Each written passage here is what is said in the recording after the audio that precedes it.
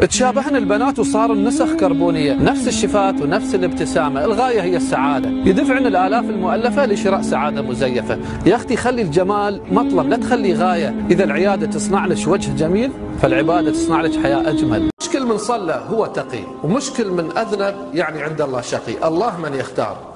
دين محمد مش يعني إنك تقصر ثوبك، دين محمد إنه يكون هناك نقاء ينبض في جوفك. دين محمد هو الرحمة والحب الناس جميل لما تكون في لباسك أنيق لكن تأكد ما راح تجذب من الناس سوى أنظارهم. الأجمل لما تكون في فكرك أنيق أنك ما راح تجذب من الناس سوى خيارهم. الأناقة مش هي ماركة راقية في ساعة أو لباس؟ الأناقة هي في فكر راقي موجود في الرأس. أنت اختار أنا أختار. هذه الدنيا بتحصل غني ساكن في أعلى بناية فأسفل البناية ساكن فقير بين نفاية. اثنينهم تجاوروا لكن بفارق الحال. وحين الممات يتجاوروا بنفس الحال.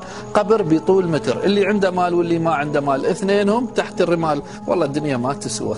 فخم وسقفه مزخرف لكن تحت هذا السقف يعيشون حياة هشة. بينما الزوجين من العصافير يعيشون العمر كله بلا ضيق وفي عشة. فرق أن العصافير آمنت بأن الرزق مع مطلع كل شمس والبشر لم ترضى برزق أقل عن الأمس.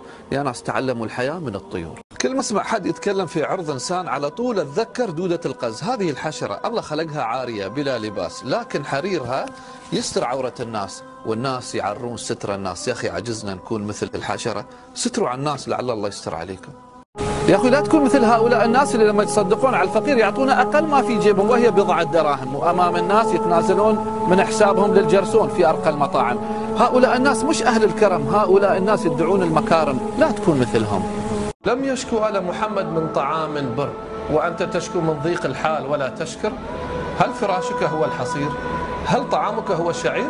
هذا ما عاش عليه آل محمد، قول الحمد لله واشكر ربك وتصبر.